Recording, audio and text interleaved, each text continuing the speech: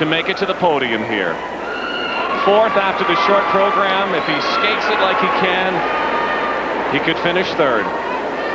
This is going to be tough, though. He injured his right ankle beginning of October. He just started jumping last week.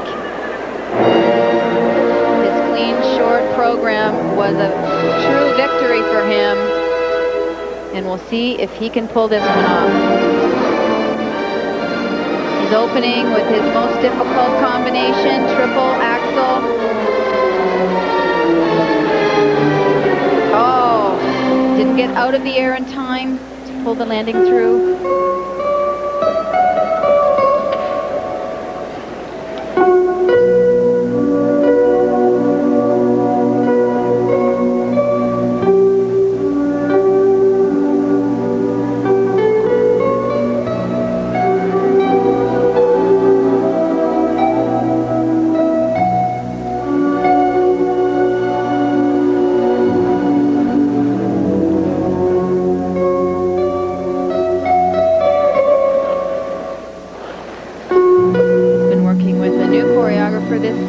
Bernard Ford from Vancouver.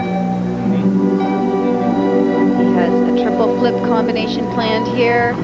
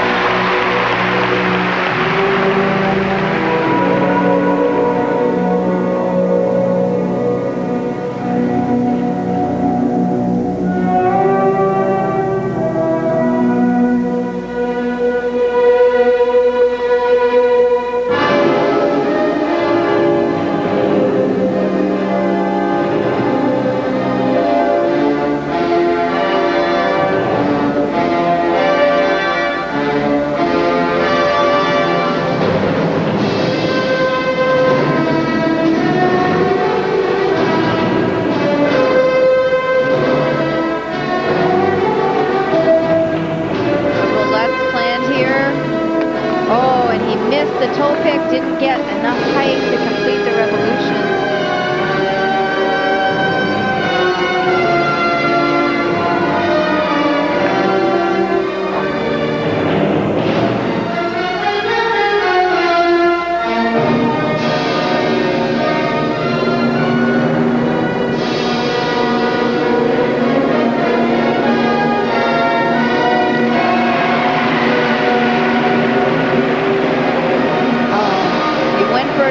there right at the end. Looked like he didn't have enough speed.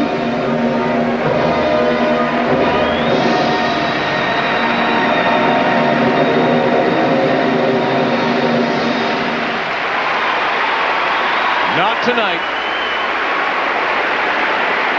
The door was open. Jeff couldn't walk through it.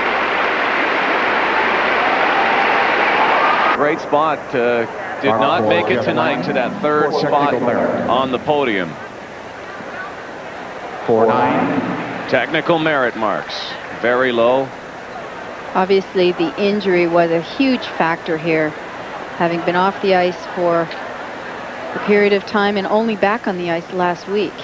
Because of the failure of some of the skaters in the final flight, one of the earlier skaters tonight, Szabolcs Vidrai, was able to stay in third place. We never got a chance to see him, but really, it was a performance for Langdon. He had a chance to put this together and get the bronze medal here. And we'll watch Jeff and Emanuel Sandhu and Jayson Dénommée and the rest of the Canadian men. Here are the marks for Jeff. They're not announcing them in the building. Currently in eighth, and that's how he Once again, will finish. But we'll watch them all. Two. Canadian men will go to the Worlds in Helsinki in the spring. Nine, five, zero, And. Now they are announcing the marks, but we already have the results. Evgeny Plushenko, first Russian man to win Skate Canada since Alexei Urmanov in 1995. He joins Elvis and Chengjiang Li, a junior, the only men to ever land quadruple jumps with a triple on the back end. What a night for Plushenko. Stojko finishes second, and his run at Skate Canada is over. We'll talk to Elvis after his silver medal here, but what a night for this kid. Plushenko, gold in BC. You wanted the test, and boy, did you ever put the pressure on tonight. Well, yeah, it's a situation where um, it's not where you are, it's what direction you're headed. And uh, the last three weeks, I picked up about a month that, uh, you know, I've been off and, and trying to get things back together, and that felt great there tonight, and, and uh, couldn't do any better. So close on the quad. Yeah, I know. I, I it felt really good in warm up, and, and during the week I was doing the first. I haven't done quad triple in, in a while, and I did one this week, and actually I did two this week, and it felt really good. But uh, we wanted to keep the program, you know, up another level, and and uh, we'll save that for you know the next competition. Well, quad triple, you gave it a shot. You saw Evgeny Plushenko. Is he watching very intently his quad triple? Do you go, oh boy, I raised the bar, now everybody's chasing? Well, yeah, in a way. You know, I did it uh, two years ago, and everyone's going to push, obviously. So it's a situation where once I get healthy, then I should be able to put it back where it belongs. So we'll see. Having these two competitions back to back, Skate America, Skate Canada, then you've got your tour. Is this a chance then for you to really just make sure you're at 100% before Canadian? Yeah, it gets it gives me a chance to get out in front of the audience again and kind of cool down after the last two competitions, and then I've got some time to to regroup and kind of set the programs again, and then take it up another notch for Canadians. So at 95% headed for 100? Yeah, about 90% headed for 100, so we're, we'll see. It'll be good. We'll be following Elvis Stojko's, second here in Kamloops. Rod? Really hard to believe he was magnificent, but Plushenko was more magnificent. Tomorrow, the free dance, Bourne in Kraatz. You'll see their new free dance tomorrow night on CTV. Also, tomorrow early.